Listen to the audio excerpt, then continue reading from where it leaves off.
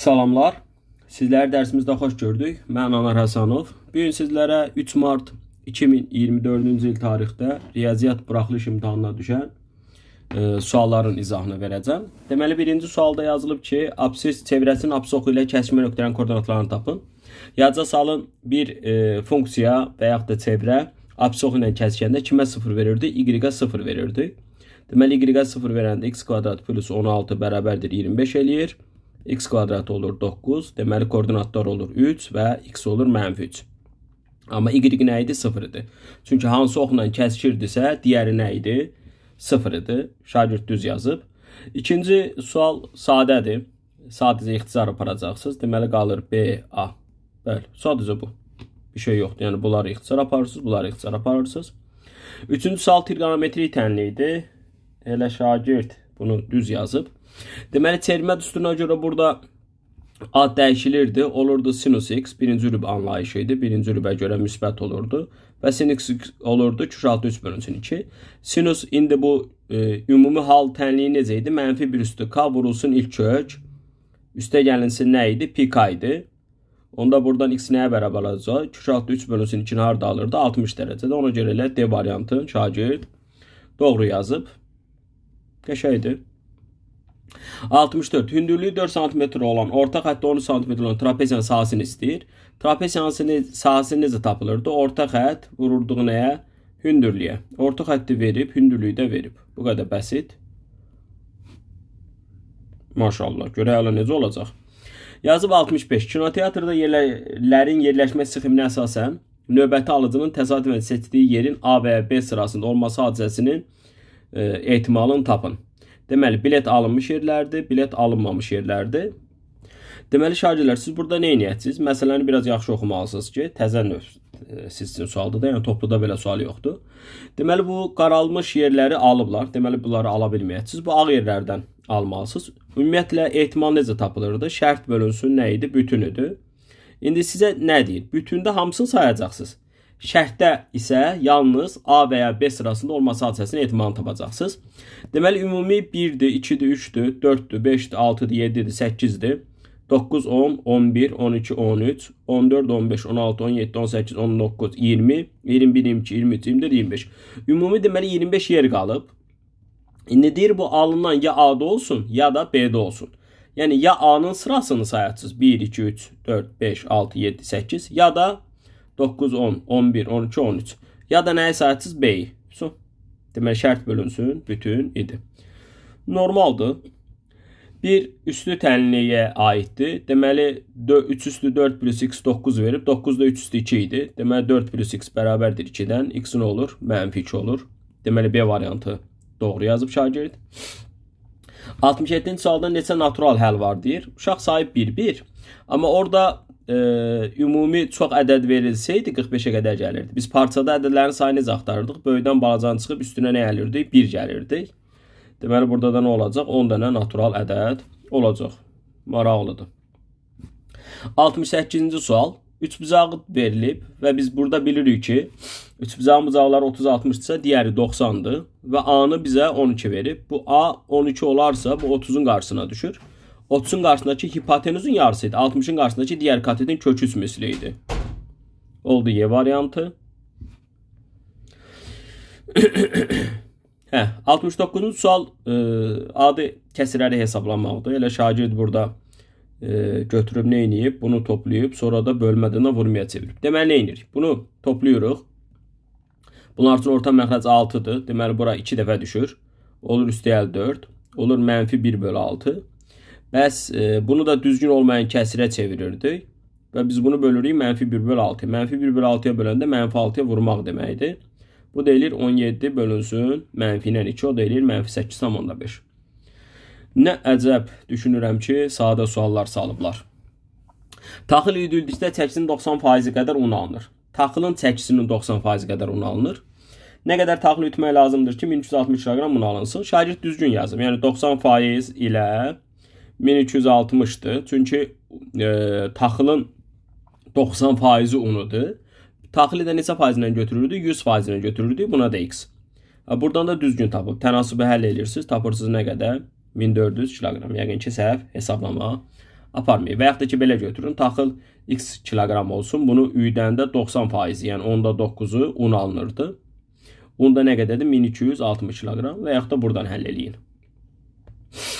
71-ci sual. Hə, müstəvi sualı. Qəşəng. Müstəvidən 6 sm məsafədə olan nöqtədən, deməli müstəvi deyəndə bir yeri nəzərə alırdıq. 6 sm yuxarıda bir nöqtə var. Yerə qədər olan məsafəsi 6 sm-dir. Bu nöqtəyə müstəvi ilə uzunluğu 12 sm olan mail çəkilir. Mail biz sizlərə çox demişik. Mail nə idi? Mail hipotenuzudur. Mailin altındakı hissədə proyeksiya idi. Katetdə proyeksiya idi. Mailin müstəvi ilə əməliyyat edirdi, bucaq istəyir, buranı istəyir. Burada 30 dərəcə olur. Çünki 30-un qarşısındakı hipotenuzun nə idi? Yarısı idi. Davam edək. Radian ölçüsü bu olan bucağın dərəcə ölçüsünü tapın. Pi radian neçə dərəcədir? 180 dərəcədir. Deməli şagird də götürüb 3-ü vurub 180-da bölüb 5-ə. Mənfi 3-ü vuracaqsınız 180-da, böləcəksiniz 5-ə. 36, 36-nı da 3-ə vuranda nə edir? 108 dərəcə. 73-cü sual. 73-cü sualda silsilədir. Ədədi silsilədir. Parçalama aparırsınız. Amma mən sizlərə çox gözəl bir qayda öyrətmişdim. Ardıcıl 3-ün toplayanda ortanın 3 qatı alınırdı. Onda bu A5 nə edir? 9 eləyir və şagird də doğru yazıb. 1-1 parçalayıb A4-ü yazıb A1 plus 3-dür. A5-i yazıb A1 plus 4-dür. A6-nı yazıb A1 plus 5-dir. Və bunu verib 27. Əla. Gəldik buna. E, görək burada nə bicliyi var. Hə, biraz bu maraqlı sual oxşuyur. Deməli biz burada üstü 5-dir, 7-ci dərəcədən. Burada da 7-ci dərəcədən üstü 2-dir. Bir-birinə vuranda şagird bax düzgün yazıb. X çıx 4 üstü 7 eləyir və x çıx 2 üstü 7 eləyir. Və biraz bu maraqlı sualdır. Və bunu kök altı ifadədən 7-ci dərəcədən çıxardanda olur x minus 4, x minus 2. Və bu mötərizələri açırsınız. Və fikir verin, x kvadrat çıx 6x-i 1 verib. Deməli, bunun yerinə 1 yazırsınız. Da kvadrat təyini həll eləmirsiniz. O x kvadrat çıx 6x-in yerinə 1 yazırsınız, cavab nə olur? 9. Düz yazıb, maşallah. Yaxşı sualıdır bu, xoşum gəldi. Perimetri 156 olan və daxili bucaqların cəmi 1800 dərəcə olan düzgün çoxuzan tərəfin uzunluğunu tapın. Daxili bucaqların cəmi düsturu nə idi? 180 dərəcə vurulsun n-2 idi. Və bunu 1800 götürmüşük və n-2 bərabər olub 10-a, n olub 12. Deməli, bu 12 bucaqlı imiş. Və 12 bucağının düzgün fiqur olduğuna görə, bütün tərəfləri A olduğuna görə perimetri 12 A idi və bunu da 156 almışıq. Deməli, tərəfin uzunluğu istəyir. 156-nı da şagird 12-yə bölüb 13 olaraq cavabı alıb. Əla, gözəl. 76-cı sual. Kompleks ədədlər. Kompleks ədədlərdə elə buna aid topluda sual var. Biz bunu necə vuruqlara ayırırdıq? Z kvadratı plus 9-u çıx 9 i kvadratı yazırdıq. i kvadratı mənfi 1 idi. Və bağlanırdı z çıx 3-i, z plus 3-i. Və aparıb yerinə qoyanda, ixtisar eləyəndə, bax z çıx 3-lər ixtisar gedir. Qalır z plus 3-i bərabərdir 3 plus 5-i. Və buradan z-i tapanda olur 3 plus 2.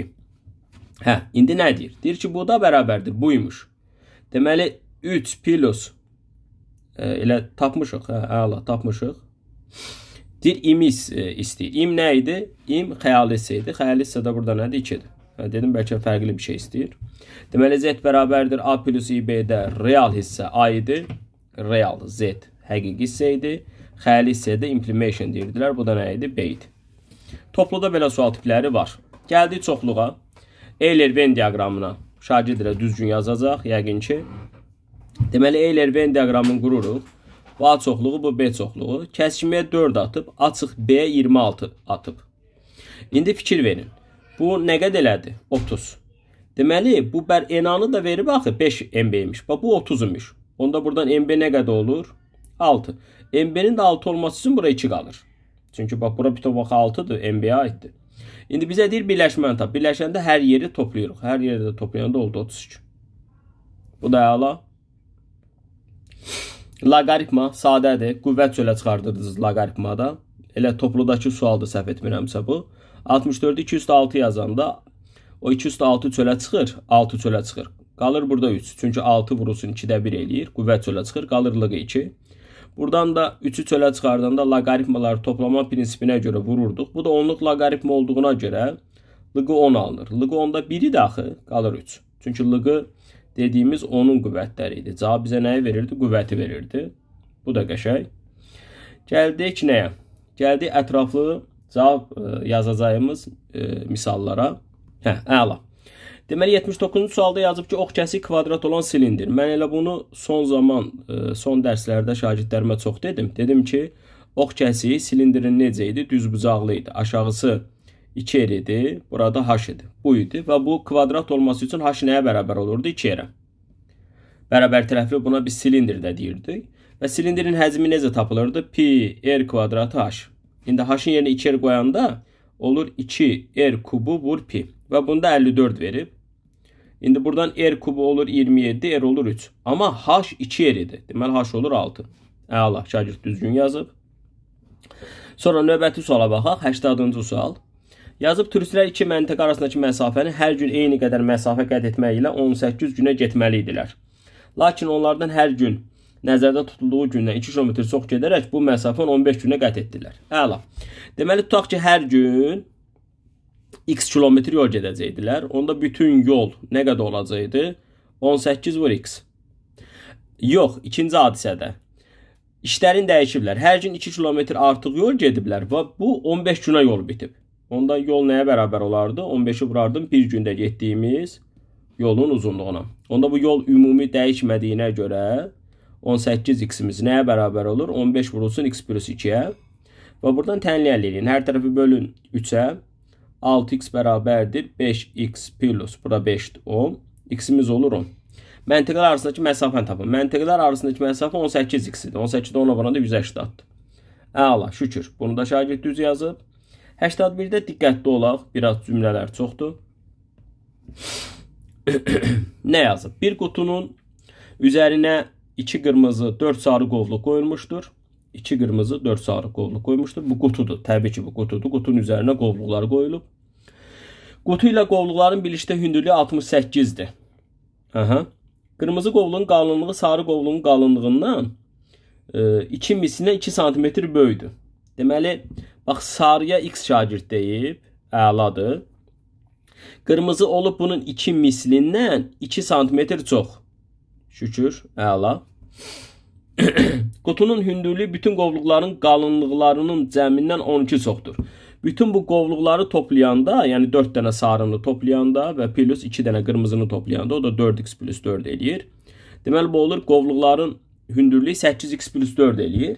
Hündürlüyü bütün qovluqların qalınlıqları cəmindən 12 sm çoxdur. Deməli qutunun hündürlüyü bundan 12 sm çoxdur. Olacaq 8x plus 16. Bax şagird şükür əla yazıb. Hə, və nə yazmışdı? Qutu ilə qovluğu e, qutu ilə bu qovluqların birlikdə hündürlüyü 68 idi. Deməli yuxarıdakı qovluqların nə qədər idi? Bu da qutuda. Qovluq deyil, qutudur bu. Qovluqlar yuxarıda nə qədər idi? 8x plus 4. Bax, 4 sarı və 2 qırmızı vardı. Və qutunun hündürlüyü nə qədər idi? O da 8x plus 16 idi. Və bu bir yerdə 68 idi. Deməli 16x bərabərdir 20 eləyir. Çıxanda 48 qalır. X olur 3. Nə istəyir? Qutunun hündürlüyünü tapın. Axı qutunun hündürlüyü 8x plus 16-dır. Deməli 8-i vuracağıq 3-ə, üstünə də 16 gələcək. Bu da eləyəcək 40. Şükür, bunu da əla yazıb.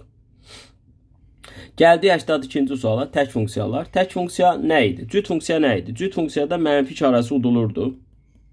Bu cütüdür. Tək funksiyada nə idi? Mənfi çölə çıxırdı. Yəni p mənfi x mənfi p x olurdu. Bu da tək idi. Əla. İndi f mənfi 5, f5 e, f funksiyası cüt olduğuna görə f5-in f mənfi 5 eynidir 13 verib. J də cüt olduğuna görə bu da elə 8 verib. Bunlar eynidir. Sonra P-lər tək funksiyadır. Deməli onda P4 3-dürsə, onda ehtiyatlı olaq. P mənfi 4 mənfi 3-dür. Q mənfi 2 mənfi 3-dürsə Q2 3-dür. Çünki tək funksiyada işarə çölə çıxırdı. İndi F5 bax F5 3-dür. Yuxarı fikir verin. J7 J7 8-dir. Plus P mənfi 4. P mənfi 4 mənfi 3-dür. Çıxı 3. Q2. Q2 də görürsünüz ki, burada 3-dür. So, deməli bor eləyir 21 böl 3, bu da eləyir 7. Belə, pis deyil. Olar. Davam edək.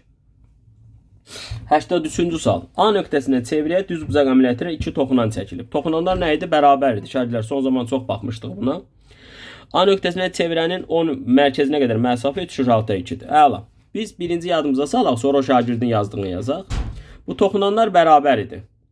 Və radius toxunana perpendikulyar idi. Bax, mərkəz radius toxunana nə idi? Perpendikulyar idi. Onda bunu da çəkirdik. Burada radius toxunan perpendikulyar və bu A nöqtəsi ilə bu mərkəzi birləşdirəndə burada 2 dənə eyni düz bucağı, üç bucağı alınırdı. Çünki katetlər eynidir, hipotenuzlar eyni, hipotenuz eynidir. Onda radiusun qarşısındakı bucaqlar da eyni olacaqdı. Yəni buranı birləşdirəndə bu 40 90 2 yerə bölünməlidir. 45 burada gəldi belə 45. İndi bu məsafə 3 köş altda 2-dir. AO. Onda bu A A A köş altda 2-yə görə buralar 3 olur. Yəni radius 3 olur. İndi çevrənin uzunluğu nə idi? 2 pi idi. 3-ü 2 piyə vuranda da olacaq 6 pi. Əla, şükür Allah. Bu da doğrudur. 84-cü sual. A və B düz prizmaları oxşar olarsa, A prizmasının hündürlüyünü tapın. Deməli, oxşarlıqda yazıca salın. Həcmlər nisbəti K kubu idi. Həcmlər nisbəti K kubu idi. Yazıca salın.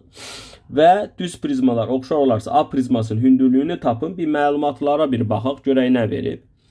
Deməli, bunun həcmin verib və hündürlüyün verib. Bu hündürlüyü yəqin ki 2-dir. Bura hündürlüydü. Üzürü sayın. Hə, deməli məlumatlara baxanda bu hündürlüydü. Oturacaqda yoxdur. İndi nə yazacaq salın? Bir prizmanın bir prizmanın həcmi esotraz vurulsun h ilə tapılırdı. Bax bunun da həcmi var.